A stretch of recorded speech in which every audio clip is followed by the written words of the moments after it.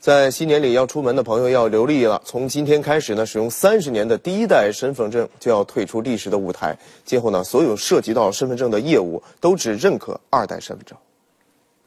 昨天深圳火车站的始发客流为六万人，比平日的五万人略有增加。记者了解到，元旦深圳开往汉口、宜昌东、西安等方向的车票已经全部售完。在深圳火车站售票大厅，多数市民都是使用二代身份证进行购票。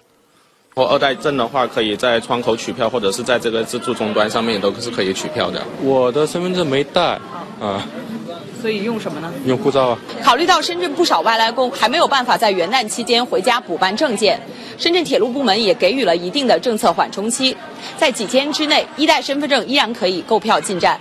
深圳机场昨天迎来了航空出行客流高峰，进出港客流达到八万人次左右。居民一代身份证今天开始停止使用。一代身份证不可以用，我还能用什么其他的呢？港澳通行证，或者是护照，或者是到派出所去开一个证明。公安部门提醒，少数还没有换取二代身份证的市民，可以办理有效期三个月的临时身份证过渡。今天开始，包括乘机、银行、金融、户政等一代身份证全部无效。